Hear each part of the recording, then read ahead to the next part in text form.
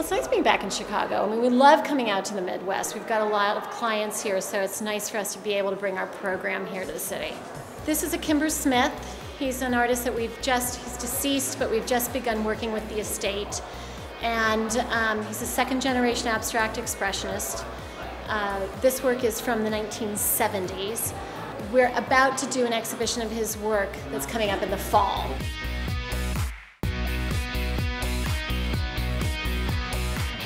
Chicago's a great town and it's a great art town. There are people that are very savvy collectors and I've noticed so far today there are people just getting into collecting as well. So it's uh, people are extremely nice and there's lots of terrific material and it's a great fair to be at.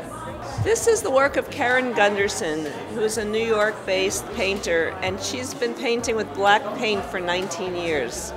So as you can see, it's black, but what she's really painting with is the light. And they're very, very dimensional, um, but they're flats.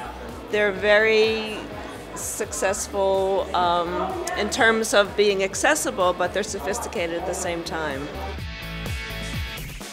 Here at Art Chicago, we're showing four artists, Martin Mull, Henry Wessel, Tommy Stockel, and Vik Muniz. Vik Muniz is the artist who's right here.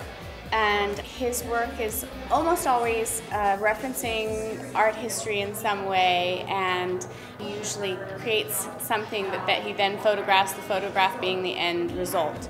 So in this case, um, this is his new series, Pictures of Paper, and it is after an image by Dorothea Lange, a photograph that she did, he made a collage of that photo, a small collage using the grayscale, and then he photographed that, and then what you're seeing is basically a photograph of a collage of a photograph.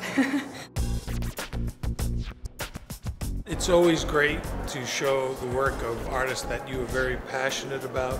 Chicago is different, and one of the reasons that we do the fair is that as being from Minneapolis, you want to show that we have sort of a Midwest alternative to the art craziness, all the parties, all the shishi gatherings, it's sort of art for social state.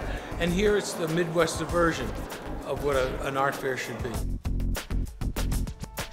I think Chicago is a great city and it's somewhere that there's a real history of collecting. It's not about, it's about love of art, not love of making money out of art. And you have a huge catchment area within an hour and a half, really, here, of major cities with, with interesting and, and vibrant museums, and you have particularly vibrant museums, and it just is a, a logical place, and I think that it could easily become the sort of premier art fair location. We always love coming to Chicago. We have a lot of great clients here, a very receptive audience. Uh, there's a lot of great collectors, and uh, you know, it's a real positive atmosphere here. I think people really are, respond, and uh, it's everyone's so friendly in Chicago. This is the Marina Towers, which everybody knows, and uh, Michael's signature is the architecture of density, which he is the name of a series he did in Hong Kong also, where you don't see the sky or the sides or the bottom, so the impact of the density is really hits you. And in this series, he's actually reached out to start looking in the windows a bit. So you, it's not just the architecture; it humanizes it, and you actually become the voyeur when you get up close, and you can see in the windows, and there's actual, real people living in these buildings.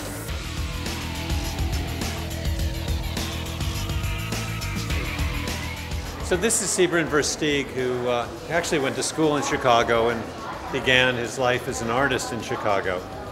And what you're seeing is uh, a new media piece done on a computer. As you can see, I'm playing with what seems to be a touch screen. It actually works in a similar manner. And these images are arrived at from a, a download of an of a internet uh, dictionary which randomly selects names and Google supplies the image to go with it.